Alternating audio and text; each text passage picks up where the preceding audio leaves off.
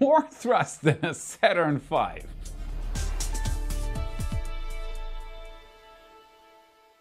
My name is Felix and I am your host for today's episode of What About It? SpaceX's Starship Super Heavy booster made history. 31 Raptor engines lit at the same time and more thrust than the Saturn V moon rocket. I'm explaining the whole craziness and I'll take a fascinating look into the future with you. Stay tuned and let's dive right in. Starship updates. We are weeks, maybe even days away from the big moment the spaceflight enthusiast community has been waiting for for some time now. SpaceX is getting ready to revolutionize spaceflight again. And their innovation to make it possible is this. What you're looking at here is a static fire test of SpaceX's Super Heavy Starship booster. It took place one week ago on February 9th in Boca Chica, Texas the location where SpaceX is running a large test facility called Starbase. The Starship's goal is full and rapid reusability. Broken down, this means nothing less than a drastic price reduction. Where today a Falcon 9 launch costs around $50 million and can get you around 17.4 tons of usable cargo to low Earth orbit, a Starship will change these numbers quite significantly up to 150 tons of payload and Musk once stated that a launch could eventually come down to $1 million. $1 million.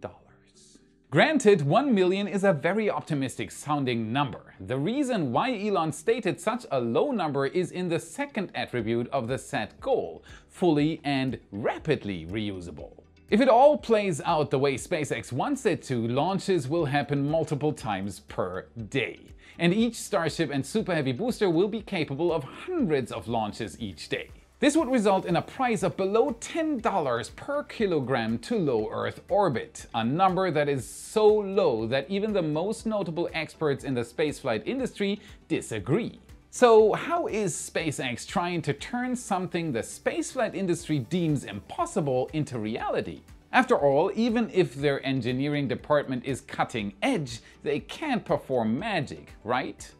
There aren't any miracles involved, and last week's static fire demonstrated it quite impressively. For the first time in SpaceX's Starship development history, a super heavy booster, so the first stage of the Starship, lit almost all of its engines. The official numbers announced by SpaceX were 31 engines at 7.9 million pounds of thrust, which equals roughly 3,600 tons. This is less than half of what the booster is capable of, but even at this low setting, it is more thrust than what the Saturn V moon rockets produced at liftoff. Another record on SpaceX's growing list, and we're getting into the realm of the most giant rockets ever built. Musk explained on Twitter stating that the team turned off one engine just before starting and one Raptor stopped itself during the static fire. It is very likely that the engine turned off by the team before ignition just had the wrong numbers on one or more sensors. It indicated to the team that taking the safe approach would be the better way to go. The second engine shutting down during the static fire is referenced by Musk as stopped itself. This likely translates to the engine detecting out-of-range parameters during the static fire, resulting in the engine controller properly turning it off. Even though there were problems with two engines, both problems did not cause any further issues and could be dealt with in an orderly way. Musk added that this would have still been enough to reach orbit, of course if all engines were running at full throttle. Traditionally, when these important tests are happening, Elon Musk is very active on Twitter, and we appreciate it very much. He even gave the throttle numbers, only roughly 50% and he gave another estimate on the first launch date. The launch attempt next month will be at roughly 90%. So this is what roughly 50% throttle with two engines short looks like on the most powerful and most giant rocket ever built. And we're here to watch it unfold. So this just happened. The Russian N-1 moon rocket gave away its decades-long record of most engines fired simultaneously with 30, and Saturn V, the pinnacle of the Apollo program and most iconic rocket in history, was passed in thrust output. This is reality. Pinch me. Now let's take a look at how the ground support equipment, so everything else but the rocket itself, held up. Was there damage or did the 31 Raptor engines leave the launch mount and the tower intact? And who better to take in on this than Mauricio from RGV Aerial Photography. He did a flyover again and his pictures tell a positive story. And the first thing everyone asked me on Twitter after the static fire was about concrete. The reason behind it is simple. SpaceX decided against flame diverters and a proper deluge system for the Starship launch mount. This has caused problems all throughout the test campaign so far. Concrete tends to shatter when blasted with Raptor engines. They're already working on a solution, but more on that later. For now, this is what it looks like. Blast residue everywhere, but the concrete below the OLM seems largely intact. Up close, there might be a different story though. Looking at Chief's footage shows it all. Just before the ignition, the Firex system kicks in. It's the water being sprayed under the launch table. This is supposed to mitigate the risk of a combustible mixture of propellant gases below the engines. It does affect the blast, but its main goal is to prevent explosions. Then the ignition happened, and in the developing plume we can see the amount of debris ejected from the orbital launch mount during the static fire, and yes, there it is. Don't concentrate on the slower moving large parts. The little pieces of grey rocks are what's interesting and they are very likely concrete from under the launch mount being blasted off by the engines. When heated up quickly, even especially heat-resistant concrete like Fondag, which SpaceX uses under the OLM, tends to crack and almost explode from sheer energy overload. This is precisely why we see flame diverters, trenches and deluge systems under virtually every other large rocket launch pad in the world. Let's do the before and after comparison of Chief's close-up video from the test day.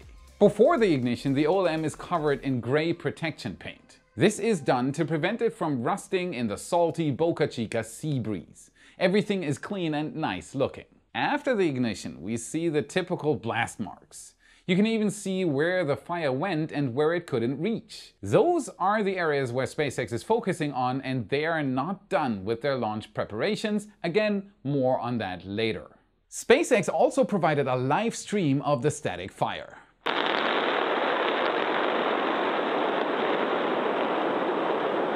This camera is located on top of Starhopper, SpaceX's first Raptor engine test vehicle, which is still on site and today used for weather data, security cameras, and in this case for a ground camera viewing the test activity. From this view, we can even see where the flames reached, and fascinatingly enough, they even blasted the first few tanks of the orbital tank farm.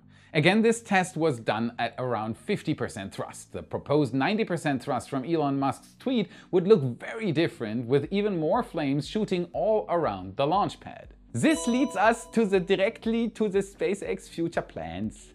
This leads us directly to SpaceX's future plans for the launch pad and some of it even before the orbital launch attempt in March. But before we get to that, hammer the like button for me, share the video if you liked it, and remember to subscribe to the channel while you're at it. This helps us hugely to continue our work. Thank you.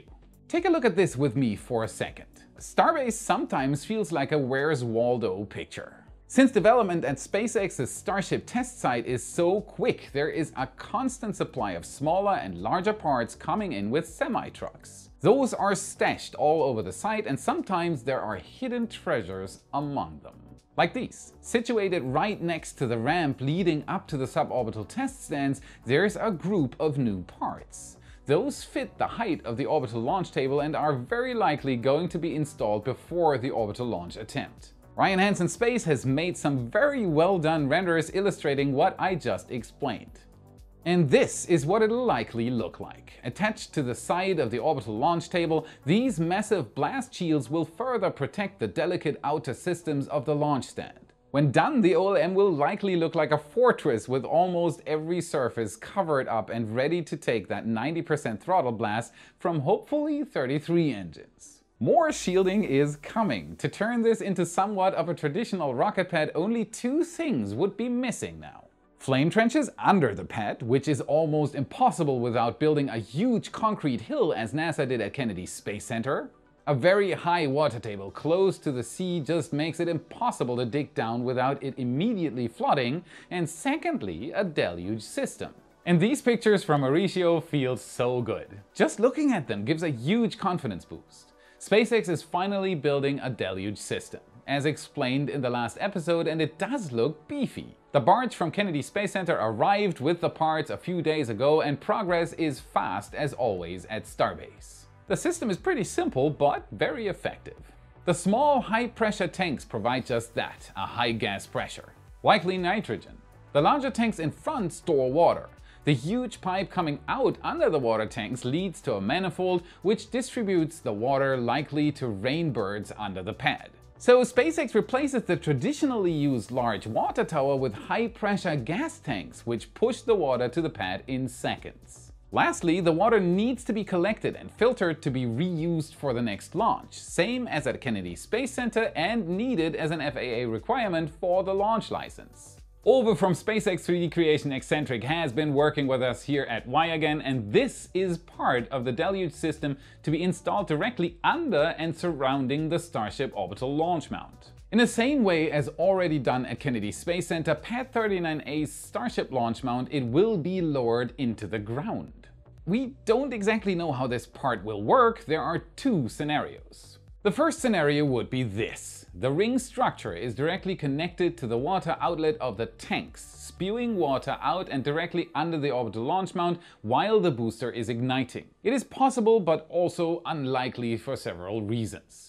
Spewing out water like this is not very effective. The blast of the engines is coming from above and you want the water to mix as best as possible with the engine exhaust. These deluge systems work in a simple way. You want to get rid of energy. Shuttle launches are a perfect example. Suppression system on, main engine ignition, booster ignition and release. While the engines are firing, the water, which is sprayed directly into the exhaust in fine drops, turns from liquid to gaseous. This takes energy, energy which is then stored in the resulting steam and can't hit the pad anymore. Simple. Circling back to scenario number one, you can see that the water would have a hard time not being pushed flat against the concrete under the pad while battling with the exhaust coming from above. Not a good mixture. Secondly, how would you collect the water? Which brings us to scenario number two. In this case, there are rainbirds directly under the launch table spraying the water into the exhaust stream and the ring acts as a drainage system. This way the mixture, so the percentage of the water actually turned into steam would be significantly increased and the collection would almost be 100%, ready for reuse for the next launch. We'll have to wait and see what SpaceX actually does end up building, likely after the first launch. What do you think? Will SpaceX use it as a circular rainbird or as a drainage system together with rainbirds further up? As always, let me know in the comments below. Also, I am super excited to announce that we are teaming up with AstroLiz to help inspire young minds for STEM with the AstroLiz Young Explorers Fund. This is something I have been waiting to announce for a while now. Join in and support young people that couldn't afford to experience space activities like a day out at the Space Center, watching a launch, and maybe even most importantly, supporting their local rocketry club. Be a part of funding young people to find their place in space. Check the link in the description, help inspire the youth for a better future.